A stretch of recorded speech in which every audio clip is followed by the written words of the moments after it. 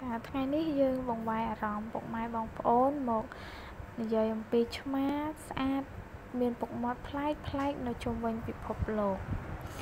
ក្រៅពីសំណក់ឆ្មាគឺជាសត្វដ៏ពេញនិយមដែលមនុស្សចូលចិត្តយក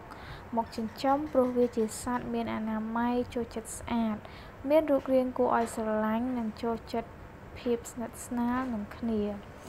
កម្រងរូបភាពនេះប្រកាសជាធ្វើឲ្យអ្នកញញឹម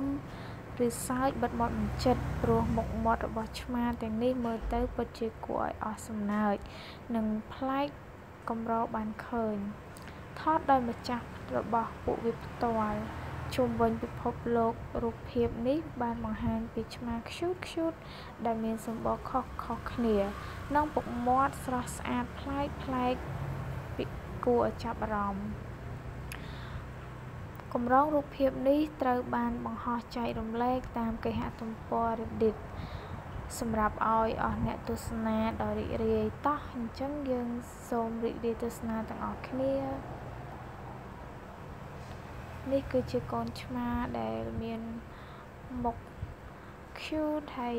មានសម្បុរសនិងលេខកាហ្វេនេះក៏ជាសត្វឆ្មាដែរដែល មើលទៅកំ pl ែងមួយយ៉ាងដែរ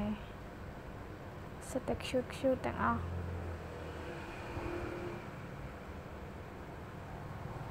តើបងប្អូនស្រឡាញ់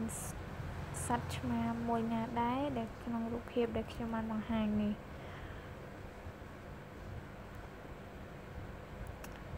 អូខេអរគុណច្រើនសម្រាប់ការទស្សនាដូច្នេះរូបភាពឆ្មាខ្ជុកខ្ជុកបាន អស់ហើយ សង្ឃឹមថាបងប្អូននឹងចូលចិត្តទាំងអស់គ្នាអរគុណ